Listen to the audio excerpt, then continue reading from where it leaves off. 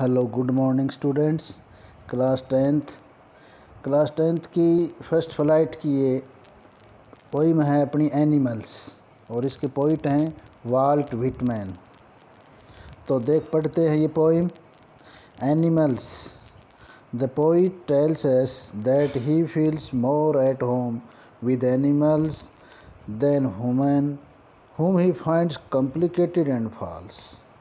यहाँ कवि कहता है कि मुझे, मैं घर के ऊपर बजाय मनुष्यों के ह्यूमन बींग के, यानी मनुष्य के बजाय, मानव के बजाय पशुओं के साथ रहना मुझे अच्छा महसूस होता है अच्छा लगता है, क्योंकि मनुष्य हैं, वो बड़े कॉम्प्लिकेटेड और फाल्स बड़े उलझन वाले और झूठे। इसलिए वो पशुओं के साथ रहना शुरू करता है एनिमल्स के साथ रहना उसको अच्छा लगता है। तो ये पोइम शुरू करते हैं। I think I could turn and live with animals They are so placid and self-contained. I stand and look at them long and long. Stanza देखते हैं। आई थिंक मेरे विचार से मेरा, मैं सोचता हूँ I could turn I could turn मुझे मानव से टर्न कर लेना चाहिए। आदमी को छोड़ के एंड लिव विद एनिमल्स मेरा मन करता है, मैं सोचता हूँ कि मनुष्य को छोड़ के मैं पशुओं के साथ रहना शुरू कर दूँ। They are so placid and self content क्योंकि पशु कितने प्लेसिड एंड सेल्फ कॉन्टेंट कितने शांत और आत्म संतुष्ट है। अपने आप में कितने संतुष्ट हैं। I stand and look at them long and long और कभी कहता है कि मेरा मन करता मैं वहाँ उसके पास खड़ा रहूँ, मैं पशुओं के पास खड़ा रहता हूँ। उनकी तरफ़ लंबे लंबे समय तक, लंबे समय तक मैं पशुओं को देखता रहता हूँ। दे डोंट स्वेट स्वेट होता है पसीना बहाना। वे पसीना नहीं बहाते हैं। एंड वाइन चीखना चिल्लाना। अब आउट देर कंडीशन उनकी चाहे कुछ भी हालात हो, हर परेशानी को, हर हालात को वो शांति के साथ झेल लेते हैं। दे डोंट स्वेट उसके लिए न पसीना बहाते हैं, न ही चीखते चिल्लाते हैं, चाहे किसी भी कंडीशन में हो वो। They don't lie awake in the dark अंधेरे में वो सोते सोते जागते नहीं हैं। यानी सोने के बाद ये नहीं है कि मनुष्य की तरह लेट गया और आँखें उसकी खुली हुई है, नींद नहीं आ रही है। रात होने पर वो सोते सोते जागते नहीं हैं। And weep for their sins और अपने पापों के लिए वो रोते नहीं हैं। अपने बुरे कर्मों के लिए उसने जो कर दिया, जैसे मनुष्य रोता है, अपने बुरे कर्मों का पश्चाताप करता है, वो ऐसा नहीं करते। नहीं वो सोने के बाद जागते हैं, नहीं वो बुरे कामों के लिए, अपने पापों के लिए पश्चाताप करते हैं।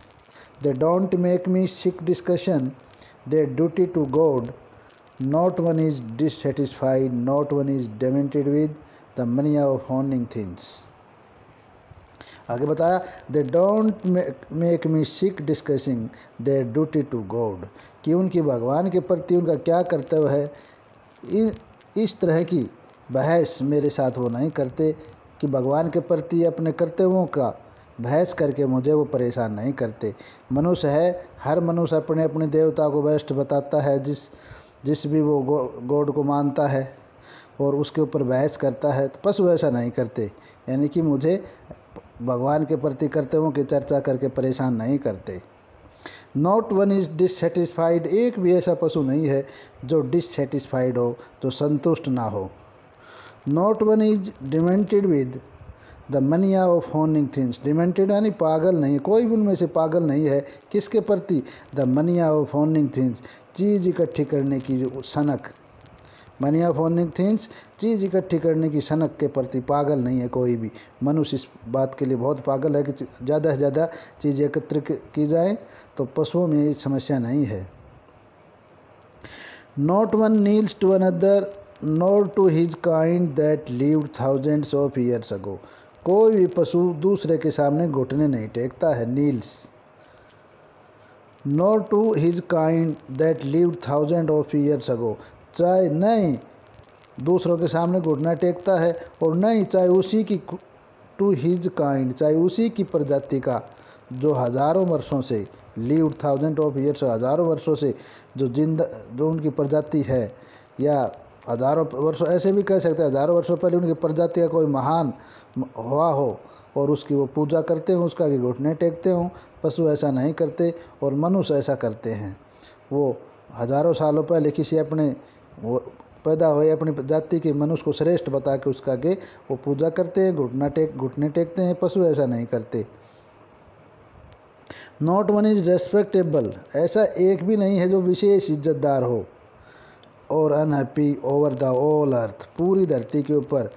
ऐसा एक भी पशु नहीं है जो अनहैप्पी हो, यानी नाखुश हो और विशेष इज़्ज़त वाला हो रिस्पेक्टेबल रिस्पेक्टेबल कोई भी नहीं है, यानी कि विशेष इज़्ज़त वाला, कोई विशेष सम्मानजनक, सम्माननीय कोई नहीं है और न ही कोई ऐसा है जो नाराज़ हो, अनहैप्पी हो।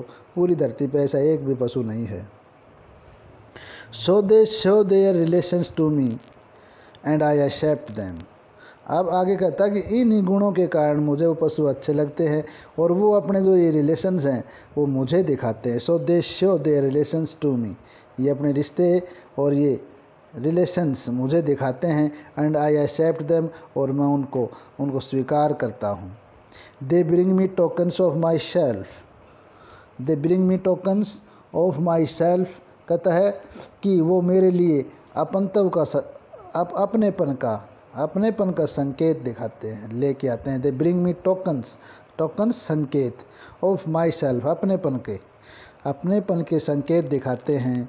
They evince them plainly in their possession possessions स्वामित्व। अपने अधिकार की या स्वामित्व की जो भी बात है, वो बड़े साधारण, बड़े प्लेनली बड़े सामान्य तरीके से शो करते हैं। बड़े सामान्य तरीके अपने स्वामित्व को सीधे स्वभाव से प्रदर्शित करते हैं। आडंबर नहीं करते। लास्ट में देखते हैं, I wonder, where they get those tokens. अब मुझे ये जान के बड़ा आश्चर्य होता है, I wonder, where they get those tokens की ये संकेत। वो कहाँ से लेके आए? इतने बढ़िया अच्छे गुण, वो कहाँ से लेके आए? मनुष्य में नहीं है, वो पशुओं में इतने बढ़िया बढ़िया गुण हैं। वो कहाँ से लेके आए? Did I pass that way huge time ago? क्या इसी रास्ते से कभी? बहुत हज़ारों, बहुत सालों पहले क्या मैं इस रास्ते से गुजर चुका हूँ? यानी कि मनुष्य में भी गुण बहुत समय पहले मनुष्य बहुत सीधे सरल स्वभाव का हुआ करता था।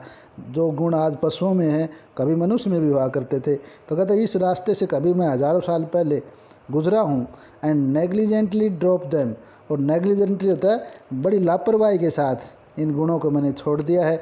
यानी मनुष्य आज बड़ा सेल्फिश हो गया है और उसमें सीधे सरल स्वभाव वाले कोई गुण नहीं हैं।